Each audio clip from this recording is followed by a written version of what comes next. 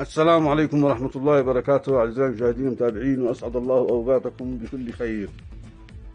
إعلان أمريكي بشأن مرتبات الموظفين المنقطعة منذ تسع سنوات مضت. وإلى التفاصيل.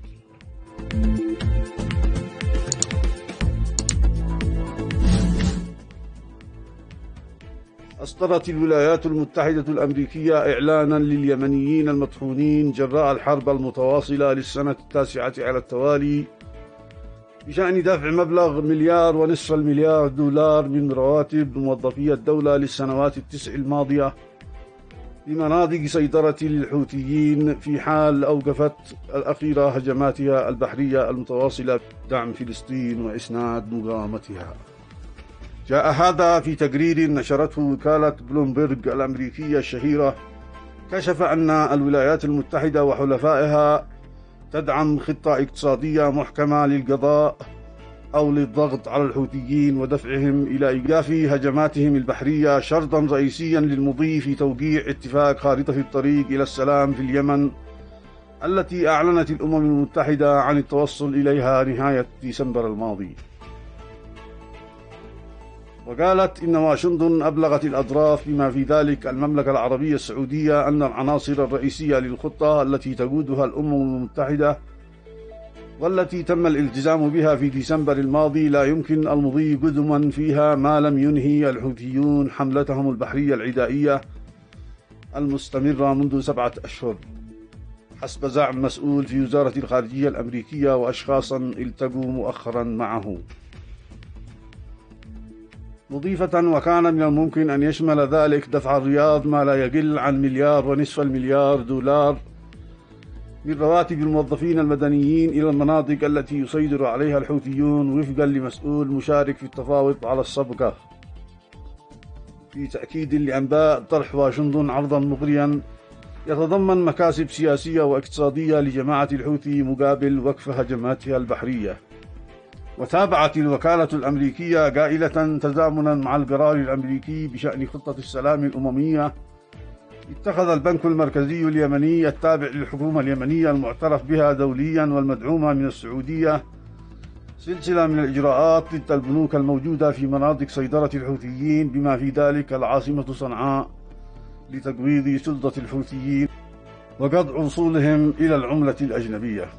مشيرة إلى أن سلسلة إجراءات البنك المركزي في عدن بخصوص فرض نظام الحوالات الموحد تهدف إلى حماية النظام المالي في اليمن خاصة بعد إعادة تصنيف الحوثيين كجماعة إرهابية عالمية في يناير 2024 وأنها أيضا محاولة لإنهاء النظام المصرفي المزدوج ونظام العملة الذي ظهر في اليمن منذ استيلاء الحوثيين على السلطة.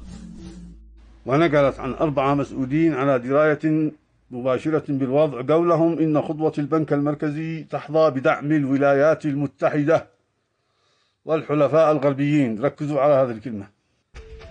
تحظى بدعم الولايات المتحدة والحلفاء الغربيين. ومن المرجح أنها حصلت على موافقة ضمنية من السعوديين الذين يمولون حكومة عدن والبنك المركزي هناك منوهة إلى رفض مسؤول في وزارة الخارجية الأمريكية التعليق على هذا الجانب من الخطة.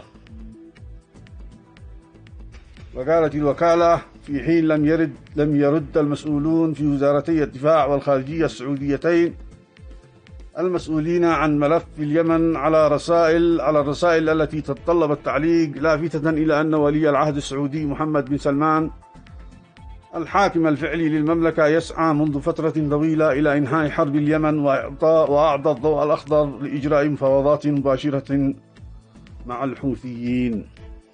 مضيفة أن هذا التوجه لولي العهد السعودي جاء بعد فشله في الإطاحة بالحوثيين من السلطة خلال تدخل عسكري استمر سبع سنوات وأدى إلى مقتل 377 ألف شخص.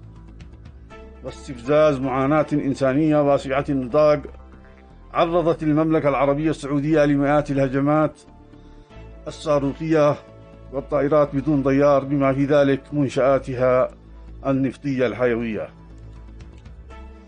الآن ومن خلال هذا الخبر يتضح أن أمريكا هي السبب المباشر في حرمان الموظفين في الشمال من مرتباتهم طيلة تسع سنوات من العدوان والحصار. وهي الآن وبعدما فشلت في إخضاع وتركيع شمال اليمن أصبحت تلعب على هذه الورقة والهدف اليوم يختلف عن الهدف بالأمس. فهي بالأمس كانت تريد إخضاع وتركيع الحوثيين إن لم يكن القضاء عليهم. مقابل المساومة بالمرتبات. أما هدفها اليوم فهو أن يتوقف الحوثيون أو أن يوقف الحوثيون هجماتهم البحرية على الملاحة الإسرائيلية ومن يساندها من الأمريكيين والبريطانيين. وهذا ما يجب علينا أن نستوعبه اليوم جميعا موظف غير موظف. لنعرف من هو عدو اليمنيين والمسلمين الحقيقي. بدون مزايدات وبدون وبدون مغالطة. أشكركم على حسن متابعتي والإصغاء ولا تنسوا الإعجاب والتعليق على الفيديو والاشتراك في القناة وتفعيل جرس التنبيهات. والسلام عليكم ورحمة الله وبركاته.